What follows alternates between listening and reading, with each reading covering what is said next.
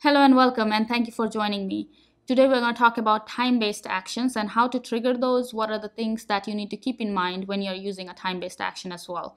So, um, starting with a use case, one of the use case you might get is that when an opportunity is created and the opportunity stage, stage is in prospecting for more than five days, then you want to send an email alert to the opportunity owner, reminding them to move the opportunity stage to qualification or needs analysis.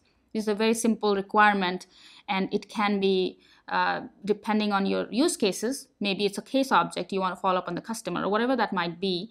You can use time-based actions to meet those requirements. And one of the things to keep in mind for time-based actions is depending on what you choose, whether it's on create or on edit, the time-based queue will uh, change. So for example, uh, in this case, the opportunity stage is prospecting, we want to send an alert after five days. So what happens if somebody comes in and changes the stage before five days? If that's the case, then you don't want to pick, you don't want to trigger this um, action on create only. You want to trigger this on create and edit because you want because you want to make sure if somebody comes in and edits the opportunity before five days, then you don't want to send that email alert because otherwise the sales rep is just going to get frustrated because the opportunity stage already has moved and you're still sending them email alert.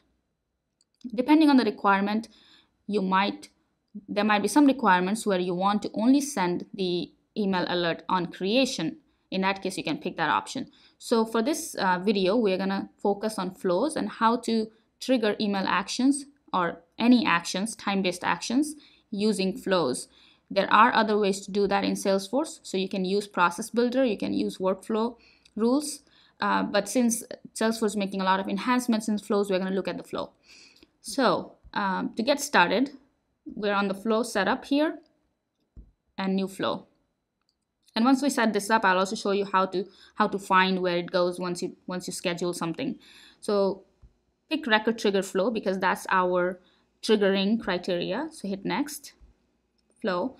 And right here, you, you'll see options. So there are options of when a record is created. You can definitely pick this one. Uh, for my criteria, I want to say record is created or updated. So basically, I want to make sure that nobody gets an email if the record is already updated. And then I'm just going to say after the record is saved, hit done. And choose object. You want to make opportunity and I'm just gonna say stage equals prospecting because that's my criteria.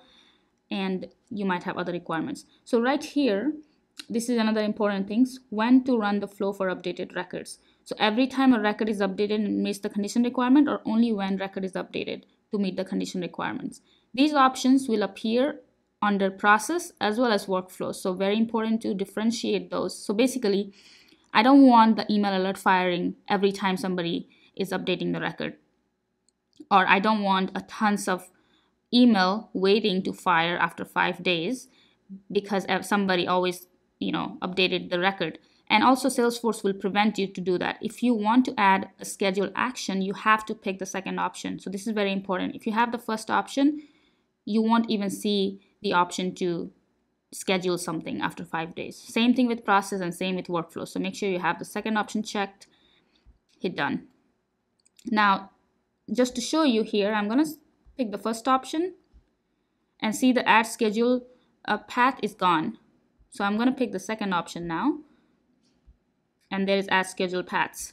So I'm to click on that and say reminder after five days. Time source is when opportunity is created or updated for me. It could be close date, whatever your requirement is. I'm just gonna say five here. And once you select five, you have the option to select what that five means. Days, hours. In my case, I'm just gonna say days after and hit done. So, so by now we only have scheduled the path, but now I have to select the action of what I want to do when it reaches that time. So I'm just gonna pick something simple, um, email alert and if you're picking this option, make sure you already have an email alert created. I'm just going to say notify opportunity owner.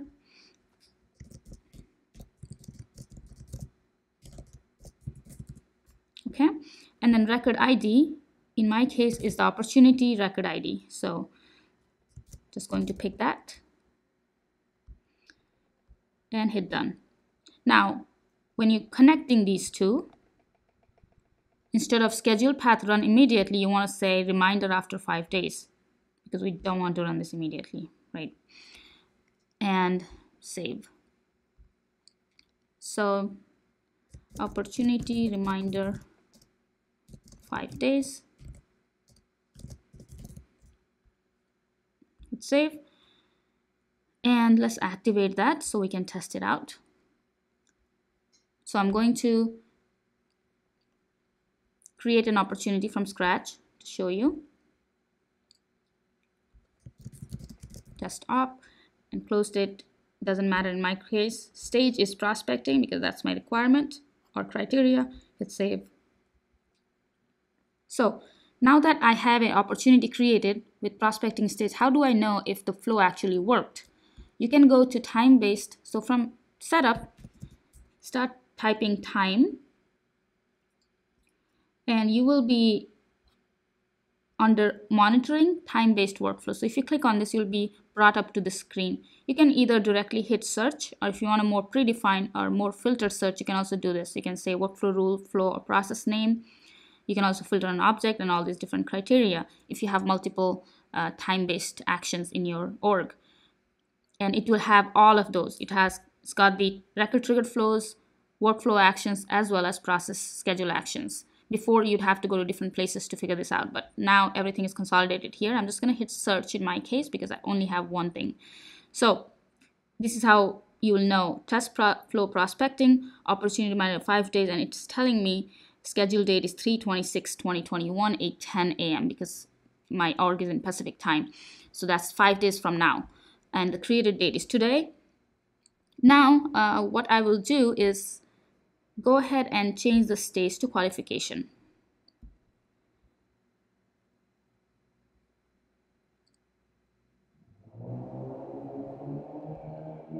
Okay, so I've changed the stage to qualification. What happens now?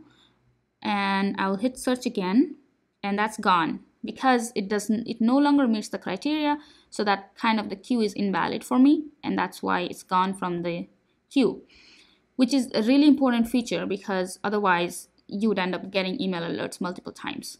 So that's why Salesforce Flow prevents you from even having those if you select that first option.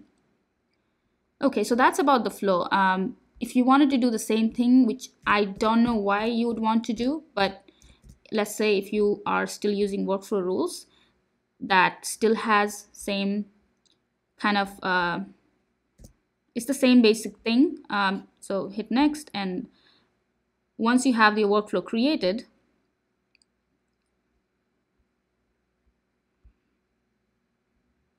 created and every time it's edited to subsequently meet the criteria. You have to have this third option selected and then you will, I'm just going to pick some random because I'm just showing it to you here.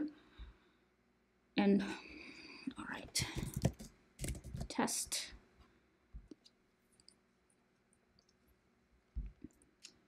And once you are here, that's where you'll see the add time trigger option. If I didn't select this third option, I wouldn't even see this option. Same thing with process as well. So even if you go to process, you'll have the same set of options. But um, if you are building this right now in real time, then I highly recommend using Flow un unless there is a gap that Flow doesn't support yet and which might be the case for you. Uh, but for process as well it's the same thing. So I want to show you real quick how it looks. Um, so here for example in my case you want to say do you want to execute these actions only when specified changes are made to the record? And if you hit yes then you'll have these options of schedule action. This is where you can say um, hours or days after whatever date. So same kind of setup and then you can set the action after that. Since this is already active, I'm not able to uh, edit this, but this is the general idea of how you would set up the schedule actions. One quick note as well is I would, at least for, uh, for me and working with schedule actions, if you have an option of um, maybe using a different approach as opposed to schedule actions, I would highly recommend that. Try to avoid uh, the scheduled actions as much as you can because it, it does get very tricky to sometimes debug it and people are not getting emails. Then imagine if, you, if your org has many queues, um, you might run into a lot of issues trying to just debug it and why it's not working. So see if, if there's an option to not use it and maybe try to use some other things like um, schedule jobs, for example. You might have a schedule job set up for daily, which picks all the records and sends an email alert to the respective people. I think that would be a better uh, architecture rather than using time-based workflow for everything. So use it sparsely uh, only if it's needed, is what I'm trying to say. So I hope that was helpful uh, to give a general understanding. Please let me know if you have any questions, comments, thoughts, and, um, and if you like the content, subscribe and also click the bell icon so you get notified anytime I make a video. Thank you.